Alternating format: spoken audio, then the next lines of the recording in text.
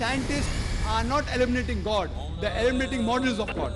You learn Sanskrit, go back to your scriptures, go back to your Vedas, and realize that God is one. Division in Islam is prohibited. We understand the concept of God in Hinduism. Quran is the most positive book. Every day, more than 3,000 fetuses are being aborted in India after they identified that they're females. According to the statistics of 1996, U.S. Department of Justice, 2,730 women are being raped every day. Every 32 seconds, one woman is being raped. I've been raped in US until the time I'm here. Islam has the solutions to the problems of the West. Of the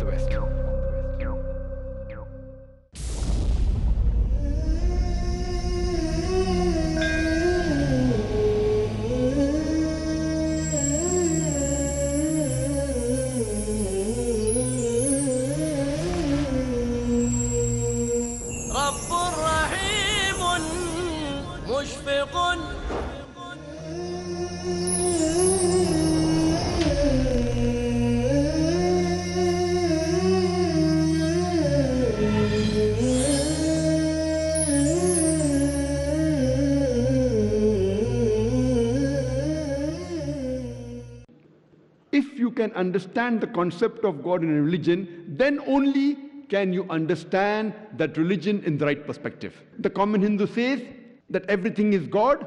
We Muslims say everything is God's. G O D with an apostrophe S. The major difference is the apostrophe S. If we can solve this difference of apostrophe S, the Hindus and the Muslims will be united. Islam is the only non Christian faith which makes it an article of faith to believe in Jesus Christ, peace be upon him. No Muslim is a Muslim if he does not believe in Jesus Christ, peace be upon him. If any Christian can show me a single, unambiguous, unequivocal statement where Jesus Christ, peace be upon him, himself says that I am God, or where he says, worship me, I am ready to accept Christianity. I am ready to put my head on the guillotine.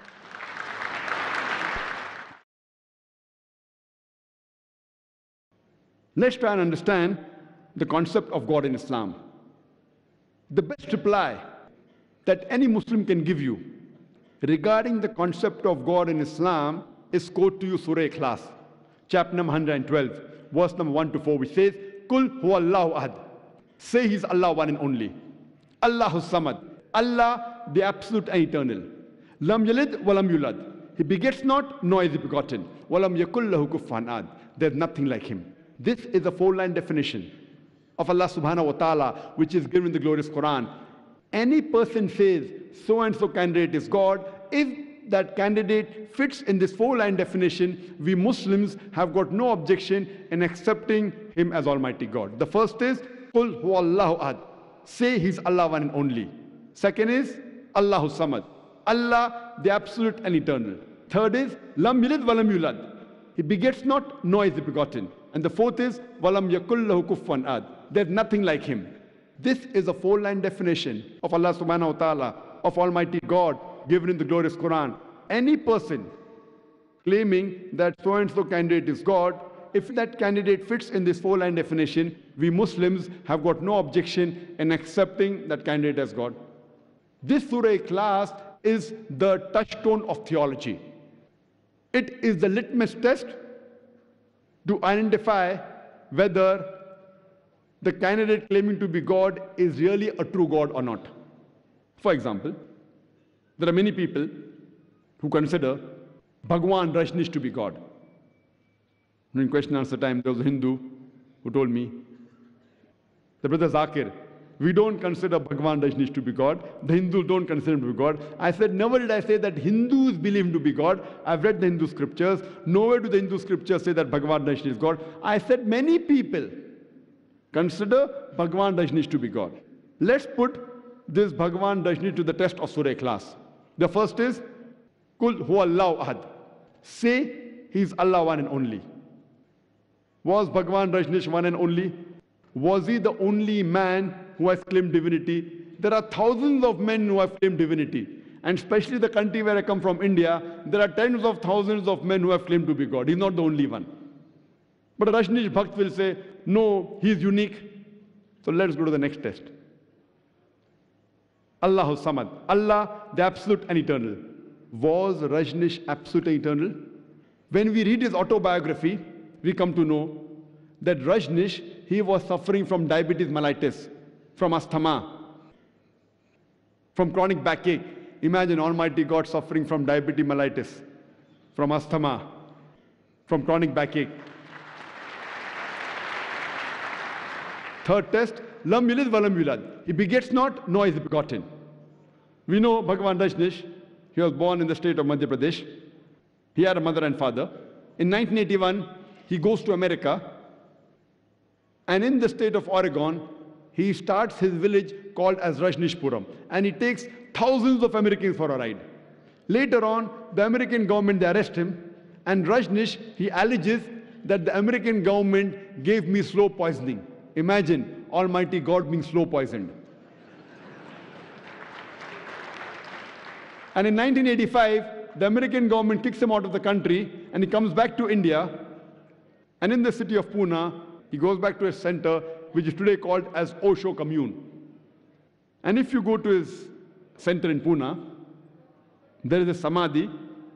And on the samadhi, there is a stone which mentions there, Bhagavan Rajneesh, Osho, never born, never died, but visited the earth from the 11th of December 1931 to the 19th of January 1990. Never born, never died. But visited the earth from the 11th of December 1931 to the 19th of January 1990. They forgot to mention on his samadhi that he was not given visas to 21 different countries of the world. Imagine Almighty God coming on this earth to visit the earth and requires visa to go to different countries. And the Archbishop of Greece said, if you don't remove Rajneesh out of this country, we'll burn his house and the house of his disciples. And the last test, Walam yakullahu kuffan ad.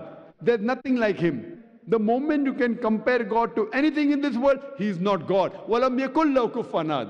And we know Rajneesh, like the common human beings. He had two eyes, one nose, one mouth, white beard, two hands. The moment you can compare God to anything in this world, He is not God. For example, someone says that Almighty God is thousand times stronger than Arnold Schwarzenegger. You may have heard the name of Arnold Schwarzenegger, who got the title Mr. Universe, Mr. World, the strongest man in the universe, the strongest man in the world. The moment you can compare God to anyone, whether it be Arnold Schwarzenegger, Dara Singh, or King Kong, whether it be a thousand times or million times, the moment you can compare God to anything in this world, He is not God. There's nothing like Him. This is a four-line definition of Allah subhanahu wa ta'ala, of Almighty God, given in the glorious Quran. Any candidate says that he is worshipping so-and-so God, if that candidate fits in this four-line definition, we Muslims have got no objection in accepting that candidate as God. And this is exactly what is mentioned in the other religious scriptures, as is mentioned in the Quran, that we have to believe in one God. He has got no idols. He has got no images. You have to worship him alone. He has got no parents. He is neither born, neither does he beget. He's absolute and eternal. This is common in all the religious scriptures. Time does not permit me to speak of other religions. If you see my lecture, Concept of God in Major World Religions, besides Islam, Christianity, Judaism, and Hinduism, what I spoke today, there are similar messages given in the other religious scriptures of Parsiism, that is Zoroastrianism, Sikhism, somewhat similar. So when this message is common, let us agree today that all the human beings, we will only worship one God who has got no images, who has got no statue. And we worship him alone and no one else, who has got no parents. He begets not, nor is he begotten. Let's try and understand, as the Quran says, the most important thing when speaking about commonalities is about Almighty God. While doing dawah, you can speak of anything, no problem to start with, but unless you do not come to the topic of Tawheed, your dawah is useless. Any other thing you speak about, you can start with to come to the main point, but until you do not convince the concept of Almighty God, your dawah is useless. So, interfaith dialogue, it's very important that the concept of Almighty God is clarified. Not saying that all gods are the same. Ram is also same, Jesus is same, Allah is same. This is not at all what is mentioned in the scriptures. We have to believe in one true God. Let's discuss the second most important common point that will be discussed regarding the messengers. And Allah says in the Quran, in Surah Fatir, chapter number 35, verse number 24. There is not a nation or a tribe to whom we have not sent a warner or a guide. Allah says in the Quran in Surah Ra'd, chapter number 13, verse number 7, had, and to every people have we sent a warner. By name, there are 25 messengers mentioned in the Quran Adam, Noah, Abraham, Moses, Jesus, Muhammad, peace be upon them all. By name, 25 messengers have been mentioned in the Quran. But our beloved Prophet Muhammad also said, is mentioned in Sahih Hadith, which is mentioned in Mishkat al-Masabih, volume number 3, Hadith number 5737, where our beloved Prophet said, there were 124,000 prophets sent on the face of the earth. And the same hadith is also repeated in Ahmad ibn Hanbal, volume number 5, page number 265 and 266. That the Prophet said, there were 124,000 messengers sent on the face of the earth. But by name, only 25 are mentioned in the Quran. But all the messengers that came before, the last and final messenger, Prophet Muhammad, peace be upon him, they were only sent for their people. And the message which they brought was supposed to be followed till a particular time period. But because Prophet Muhammad, peace be upon him, is the last and final messenger, as is mentioned in the Quran, in Surah Ahzab, chapter number 33, verse number 40. ما كان محمد أبا أحد من رجالكم ولكن رسول الله وخاتم النبيين وكان الله بكل شيء عليما Muhammad, peace be upon him, is not the father of any of you men, but he is the messenger of Allah and he is the seal of the prophets. Allah is all knowing, full of wisdom. Because Prophet Muhammad, peace be upon him, is the last and final messenger of Almighty God, he was not sent only for the Muslims or only for the Arabs. The Quran says in Surah Anbiya, chapter number 21, verse number 107, وَمَا أَرْسَلْنَاكَ إِلَّا رَحْمَةً الْعَالَمِينَ That we have sent thee not, but as a mercy to all the worlds, as a mercy to all the creatures, as a mercy to the whole of humanity. The Quran says in Surah Saba, chapter number 34, verse number 28, وَمَا أَرْسَلْنَاكَ إِلَّا كَافَّةً لِلنَّاسِ بَشِيرًا وَنَذِيرًا That we have sent thee not but as a universal messenger, giving glad tidings and warning them against sin. But most of the human beings yet do not know. Because Prophet Muhammad, peace be upon him, was the last and final messenger, he was not sent only for the Muslims or the Arabs, he was sent for the whole of humanity. And because he was the last and final messenger, he is not only mentioned in the Quran, but he is mentioned in all the major religious scriptures of the world. He is mentioned in the scriptures of all the major world religions.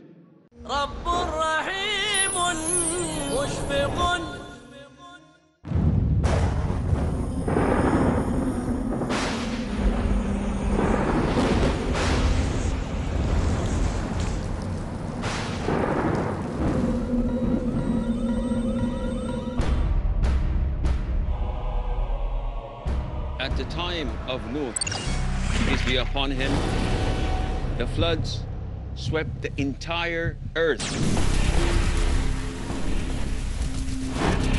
sparing only those who believed. Today, floods of shirk, floods of innovation, and floods of desires and lust are sweeping the whole earth. Al-Imam Malik ibn Anas of Medina said that the Sunnah is the Ark of Nuh. Whoever boards it is saved, and whoever refuses is drowned and is doomed forever.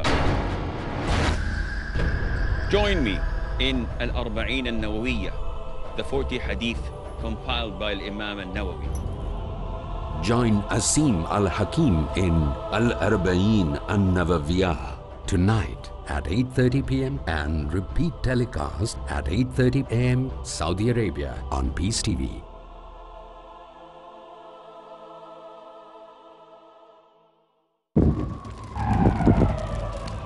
Dialogue. Dialogue. Dialogue. Discussion. Discussion. Debate. Debate. Debate. Rebuttal. Rebuttal. Conclusion. Conclusion. Eliminate misconceptions about religion. Get enlightened.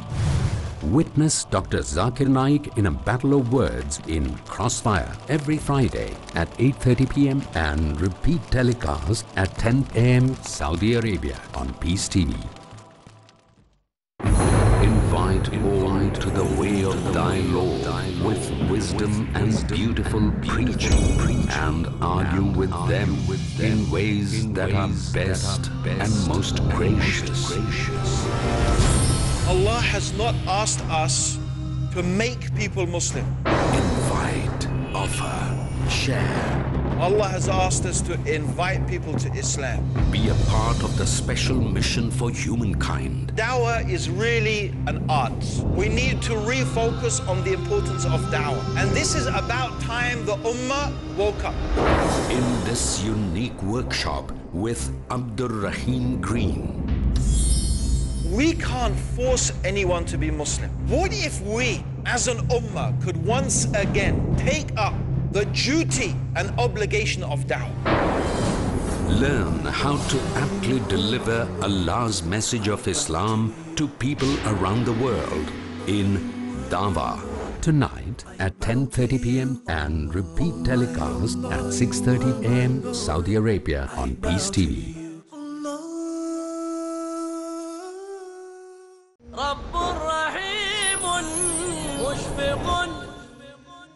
When we read the Hindu scriptures, there are several prophecies of Prophet Muhammad, peace be upon him, given in Hindu scriptures. It's mentioned in the Bhavishya Purana, Parva 3, Khanda 3, Adhyay 3, Shlokas 5 to 8. Time will not permit me to go through all the prophecies. I'll just give the reference and give the synopsis of the prophecies. It's mentioned in these shlokas that a man would come who will be a Malecha, that means a foreigner. He'll come from Marusthal, which is a sandy tract, that is a desert. He'll come along with the companions, that is the Sahabas, and his name will be Muhammad. It's further mentioned Bhavishya Purana, Parva 3, Khanda 3, Adhyay 3, Shlokas 10 to 27. There will be a man who will come to fight against his enemy. His name will be Muhammad. And his followers will be a man who's circumcised, who will not have a tail on his head, will not have a choti or a shendi. He will grow a beard. He will give the call for prayer, that is the azan. He will create a revolution. He will eat all lawful things, but will not have the flesh of swine. He will not be purified by herbs and shrubs, will be purified by warfare. His followers will be called Musalman. This is a prophecy talking of Muhammad. He further prophesied even in Bhavishya Purana, Parva 3, Khand 1, Adhyay 3, Shlokas 21 and 23, talking about how evil has spread in the seven cities of India, and a man will come by the name of Muhammad to purify the cities of India. He further prophesied in the Kuntap Suktas, the Atharva Ved, book number 20, hymn number 127, verse number 1 to 14. It says, a person will come by the name of Kaurama. Kaurama, one of its meanings means the Prince of Peace, and the other meaning is an immigrant. And Prophet Muhammad was both. He was the Prince of Peace as well as an immigrant. He migrated from Makkah to Medina. He will have 60,090 enemies, which is approximately the number of people that were against the Prophet in Makkah. It further says that he will ride a camel. And it says he'll be called as Vishvis Reb. Vishvis Reb means one who praises. If you translate into Arabic, it means Ahmad. He further prophesied in Atharva Ved, book number 20, hymn number 21, verse number 6, talking about the battle of Ahzab. That a man will come by the name of Karu, meaning one who praises. In Arabic, it's Ahmad, which is the other name of Prophet Muhammad. And he will fight against the enemy, which will be 10,000 in number, and he will win the battle without the battle being fought. This is exactly what is mentioned in the seerah of the Prophet and even given in the Quran in Surah Ahzab. Prophet Muhammad is further prophesied in Atharva Ved, book number 20, hymn number 21, verse number 7, that he will overpower 20 kings and 60,099 enemies. We know that there were about 20 tribes at the time of the Prophet who against the Prophet. And the enemies were about 60,000 in number. And this man will be called as Abandhu. Abandhu means one who is helpless and orphan. It also means one who's praiseworthy. If you translate into Arabic, it means Muhammad, which is the name of the last and final messenger, Prophet Muhammad. The same prophecy is also repeated in Rig Ved, book number 1, hymn number 53, verse number 9. Only the name is changed from Abandhu to Sushrama, which also means one who's praiseworthy. If you translate into Arabic, it means Muhammad. Prophet Muhammad is also prophesied in Sam Ved, Agni, mantra number 64, saying that this prophet, he will not go to his mother for milk, and he will not be breastfed by the mother. And you know, Prophet Muhammad, he was not breastfed by his own mother, but by Dai Halima. There are several prophecies. Time will not permit me to go into details. Prophet Muhammad is prophesied as Ahmad. That means one who praises, which is another name of Muhammad in several places. In Sam Ved, Uttarchik, mantra number 1500. In Sam Ved, Indra, chapter number 2, mantra number 152. In Yajurved, chapter number 31, verse number 18. In Rig Ved, book number 8, hymn number 6, verse number 10. In Atharva Ved, book number 8, hymn number 5, verse number 16. In Atharva Ved, book number 20, hymn number 126, mantra number 14. In several places, Prophet Muhammad has been prophesied as Ahmad. Furthermore, Prophet Muhammad has also been prophesied as Narashansa. Nar in Sanskrit means a man. Shansa coming from the word prashansa, meaning praiseworthy. So Narashansa means one who's praiseworthy. So Narashansa means a man who is praiseworthy, which is the literal translation of the Arabic word Muhammad So Prophet Muhammad is mentioned by name as Narashansa in several places in Hindu scriptures. In Rig Ved, book number 1, chapter number 13, verse number 3. In Rig Ved, book number 1, chapter number 18, verse number 9. In Rig Ved, book number 1, chapter number 106, verse number 4. In Rig Ved, book number 1, chapter 142, verse number 3. In Rig Ved, book number 2, hymn number 3, verse number 2. In Rig Ved, book number 5, hymn number 5, verse number 2. Rig Ved, book number 7, hymn number 2, verse number 2. In Rig Ved, book number 10, hymn number 64, verse number 3, Rig Ved, book number 10, hymn number 182, verse number 2. It's also mentioned in Yajurved, chapter number 20, verse 37, Yajurved, chapter number 20, verse number 57, Yajurved, chapter 21, verse number 31, Yajurved, chapter 21, verse 55, Yajurved, chapter number 28, verse number 2, Yajurved, chapter number 28, verse number 19, Yajurved, chapter number 28, verse number 42, Yajurved, chapter 29, verse number 27. I can keep on quoting and giving references only of Prophet Muhammad mentioned in the scriptures. Time will not permit us for more details, surely you can refer to my video cassette, Muhammad Sallallahu Alaihi Wasallam in Hindu scriptures. I would just like to briefly mention about one more prophecy which is very important in the Hindu scriptures about Prophet Muhammad Sallallahu Alaihi Wasallam. That is about Kalki Avatar. He's prophesied in Bhagavad Purana, Khand 12, Adhyay 2, mantra number 18 to 20. It says that in the house of Vishnu Yas, the noble souled Brahmin who is the chief of the village of Sambhala, will be born the avatar by the name of Kalki. And he will have eight spiritual powers. He'll be Lord of the universe. He'll be given a white horse and he will fight against the devil. A similar prophecy is repeated in Bhagavad Purana, book number 1, hymn number 3, mantra number 25, with the addition that he'll be born in the womb of Sumati. He further prophesied in Kalki Purana, chapter number 2, verse number 4, 5, 7, 11, 15. Point number 1. He'll be born in the house of Vishnu Yas. That means his father's name will be Vishnu Yas. Vishnu means God. Yas means servant, servant of God. And the name of Muhammad Sallallahu father was Abdullah, which if you translate into English, it means servant of God. Point number two is his mother's name will be Sumati. Sumati means peaceful. It means serenity. If you translate into Arabic, it means Amina, which is the name of the mother of Prophet Muhammad. Third point is that he will be born in the village by the name of Sambala. Sambala means a home of peace, a place of peace, which is nothing but Makkah, where the beloved Prophet was born. The fourth point is he'll be born in the chief of the village of Sambala, and we know Prophet Muhammad was born in the family of Quraysh, which was the chief of Makkah.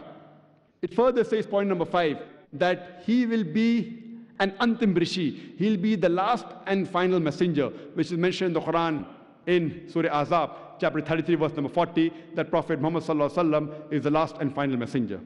Point number six, he will be born on the 12th month of Madhav. And we know some of the records say that Prophet Muhammad was born on 12th Rabi Awal. It further says, point number seven, that he will get the first revelation on the mountains. And then he'll migrate northwards and come back. We know Muhammad the first revelation he got was in Jabal Nur, the mountain of light in Gar Hira. And later on he migrated northwards towards Medina and came back. Point number eight says that he will have graceful qualities.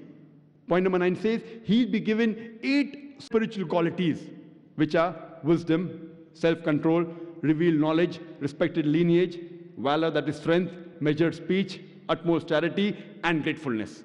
All these eight qualities befit no one but the last and final messenger, Prophet Muhammad.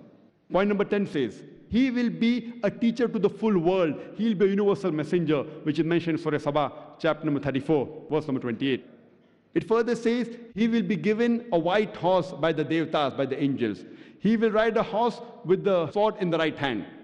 Point number 13, that he will fight against the enemies and will kill the wicked people.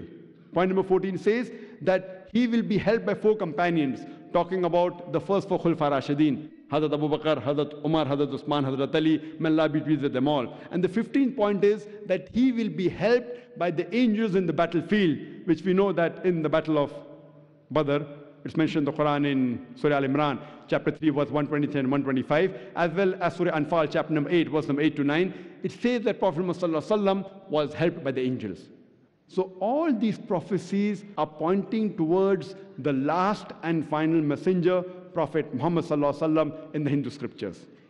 So if a person is a Hindu, if he follows the Hindu scriptures, for him to be a practicing Hindu, besides believing in one God and believing that God has got no images, he has got no idols, and worship that God Almighty, he should also believe that the last and final messenger, the last and final avatar, the Kalki avatar, is Prophet Muhammad, peace be upon him. For more details, refer to my video cassette, Muhammad Sallallahu Alaihi Wasallam in the Hindu scriptures.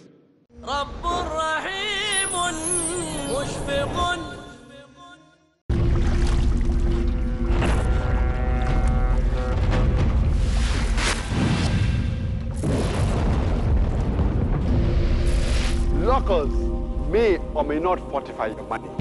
Investments may or may not increase your wealth, but giving zakat certainly fortifies, increases, as well as purifies your wealth. Support Peace TV. Send your zakat and donation to IRFI Al Rayan Bank, Quadrant Court, 48 Calthorpe Road, Birmingham, UK. Pound account number 01132301. IBAN GB52 LOYD 3096 3401 0241 92. Sort code 300083. Swift BIC code IBOBGB22. Please confirm your bank transfers at admin at peacetv.tv.